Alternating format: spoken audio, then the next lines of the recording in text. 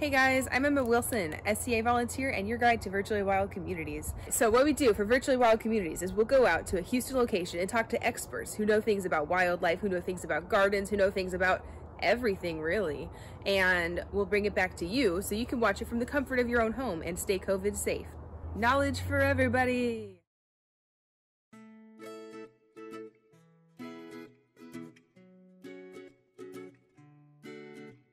Take a peek at this uh, leaf right here. Yeah, there's definitely something going on with that. You can see some yellow dots. Those are eggs. What? Those are butterfly eggs On the leaf? right on the leaf. So this bee plant is actually a host plant for the long-tailed skippers. Neat. So uh, when I say host plant, it means that it means that um, the butterfly is going to lay its eggs there, and the eggs, out of the eggs will emerge caterpillars or the little pupa, and they will feed on the leaves of the plant. And as they grow, they continue to feed on this plant. So we're gonna have to look for the caterpillars. And we see, oh, and there's a skipper right there. I wonder if it's laying eggs. We can look in a little bit. Dun, but if you dun, look at this dun. leaf, we see signs of the caterpillar. See the edges of the leaf? The caterpillars chew the leaf and pull down a piece of the leaf and they curl up in it like a sleeping bag or a blanket. And they hold that there with their silk. Hmm. And then as they grow, they're going to need a bigger piece. And so they crawl somewhere else, they chew a bigger piece of leaf pull it over themselves. Neat. There's the little skipper. Maybe laying eggs. Who knows?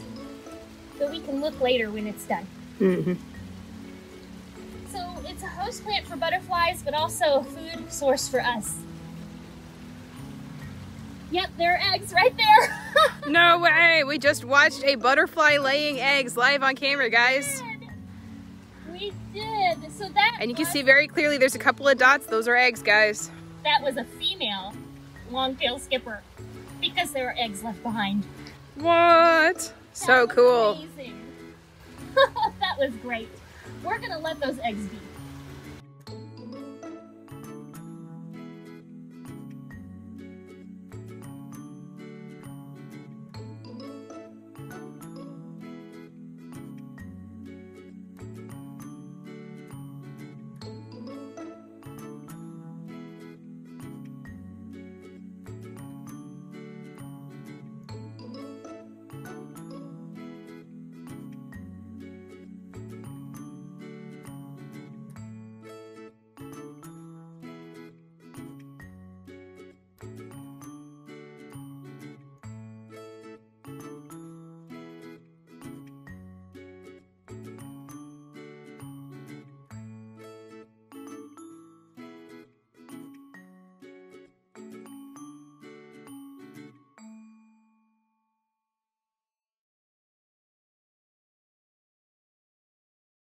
Hey guys, hope you enjoyed the video. Don't forget to comment, like, subscribe, and share this video with everybody you know because we want to spread the world about the wild things you can find in your own backyard.